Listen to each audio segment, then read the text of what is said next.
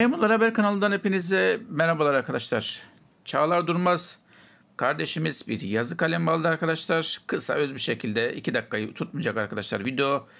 Önemli bir yazı. 3. tediye Temmuz, Ağustos, Eylül aylarını kapsayacak arkadaşlar ve işlerin bilmesi gereken 1-2 bilgiyi ekleyeceğiz burada arkadaşlar.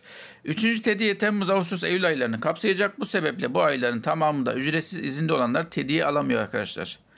Bu tarihlerin belli kısmında çalışanlar veya çalışacak olanlar tediyeyi orantılı şekilde alıyor. Yani kısteliyem şeklinde alıyor arkadaşlar. Çalışıldığı kadar alınıyor. Bilginiz olsun.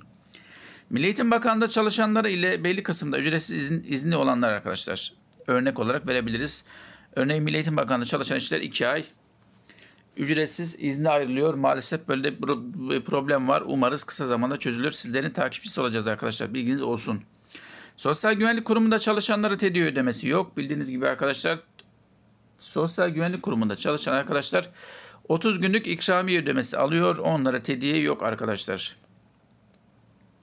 Yıllık izin, mazeret izni kullananlar ile raporlu olanlara tediye tam ödenir.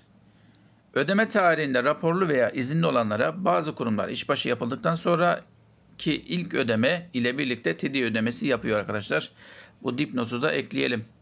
Üçüncü ve dördüncü tediye ödeme tarihleri henüz belli değildir.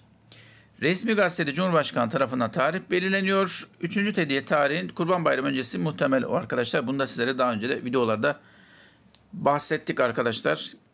Üçüncü tediye Kurban Bayramı öncesi muhtemel olacak. Dördüncü tediye de arkadaşlar son yılın son tediyesi de Aralık ayında oluyor. İlk tediye de Ocak ayında oluyor arkadaşlar. Bilginiz olsun.